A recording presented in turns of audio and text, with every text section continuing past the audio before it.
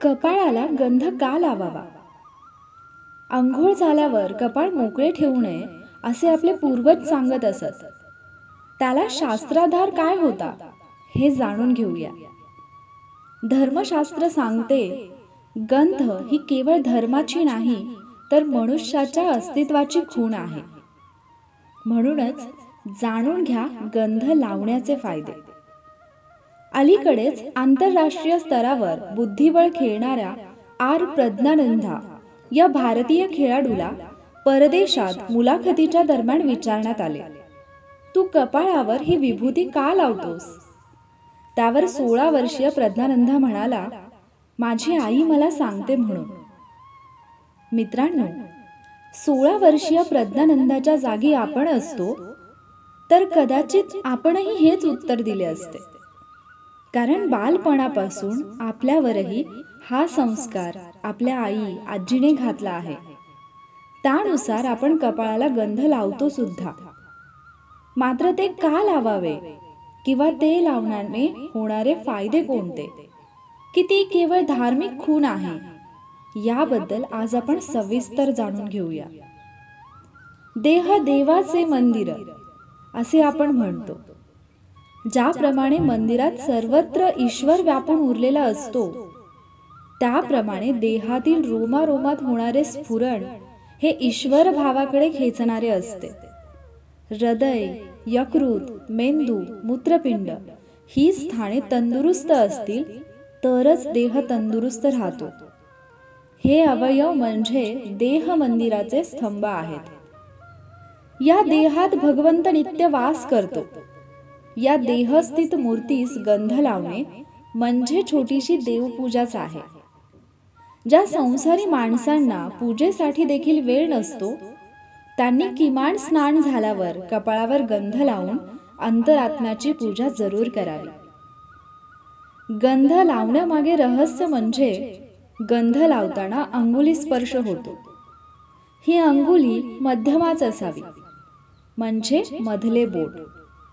त्या बोटाचा थेट हृदयाशी संबंध आहे. अंगुलीतून प्रवाहित होणारी स्पंदने थेट हृदयाला जाऊन भिडतात. गंध लावण्याचे व्यावहारिक कारण म्हणजे गंध लावणारा मनुष्य सहसा पापकर्मास प्रवृत्त होत नाही. कारण तो देवाचे अस्तित्व मानणाऱ्यांपैकी एक असतो. सकाळी कपाळावर गंध लावून केलेली माणस पूजा दिवसभर आपण देवाच्या साक्षीने काम करत आहोत याची जाणीव करून देत राहते. जणू काही आपल्या प्रत्येक घडामोडींवर बारकाईने लक्ष ठेवणारा तो सीसीटीव्ही कॅमेरा असतो. आणि त्याचा ऑपरेटर हृदय सिंहासनावर विराजमान झालेला असतो.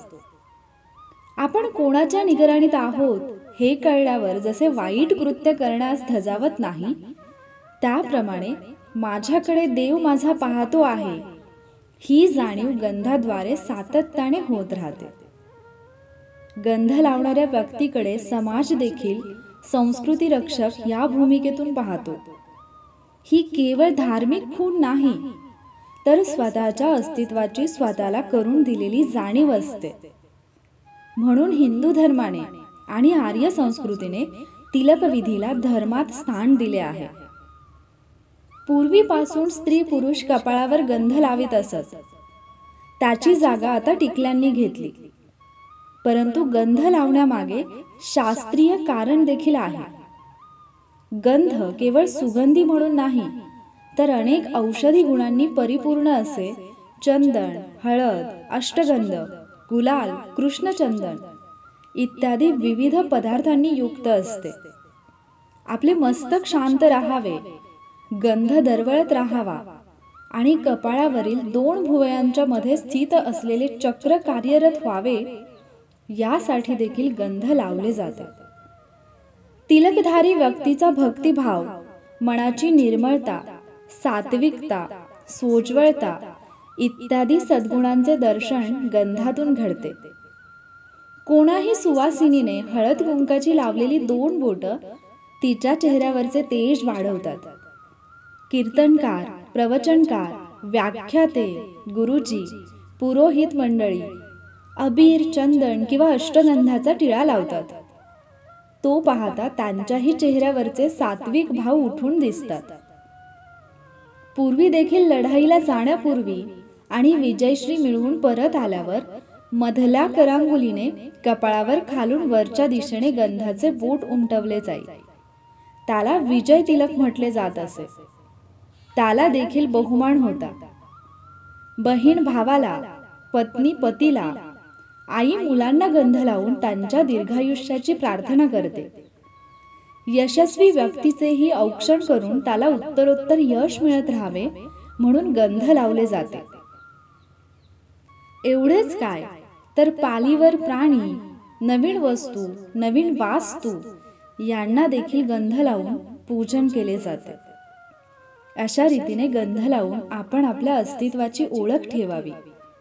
आणि अंतपुरातील देवाची पूजा करून त्याच्या साक्षीने सत्कार्य करत राहावे. गंध लावण्यामागची ही शास्त्रीय कारणं तुम्हाला माहिती होती की नाही हे मला कमेंटमध्ये नक्की सांगा. व्हिडिओ जर तुम्हाला आवडला असेल आणि उपयोगी वाटला असेल तर व्हिडिओला लाईक आणि शेअरसुद्धा नक्की करा. थँक्यू